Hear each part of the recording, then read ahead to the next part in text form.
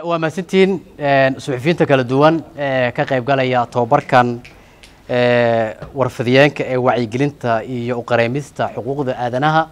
oo ah wejigii labaad markaasi ay qabanayso ururka suxufiyiinta soomaaliyeed somali journalist syndicate s j s oo la kaashatay hay'adda net tobabarkan waxaa ka qayb galaya ku dhowaad labaatan suxufi oo ka kala yimid magaalooyinka guud ahaan dalka sida maamul goboleedyada ka dhisan dalka hirshabelle galmudug koonfur galbeed jubbaland s c khaatumo iyo magaalada muqdisho iyana suxufiyiinta qaar ka yimid aad iyo aad ayaad u mahadsantihiin. Tobabarkan waxaa uu socon doonaa muddo saddex maalmood ah. Intuu tobabarka u socdo waxaa markaa lagu gorfeyn doonaa ama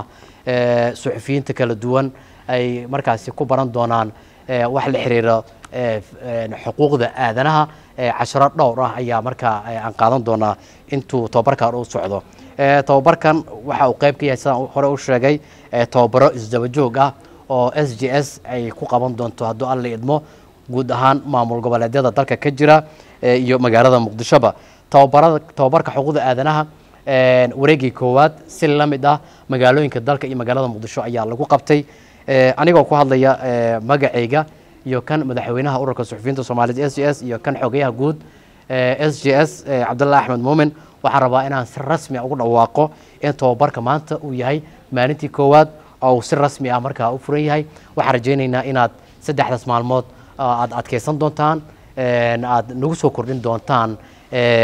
waxyaabaha aad aad aad dhinaciina ka imaanaya oo fikradaha dhinaciina ka imaanaya iyo kuwa anaga dhinaciina ka imaanaya markaan iskaashano waxaa soo bixi doona hadduu alla idmo wax weyn oo micno u leh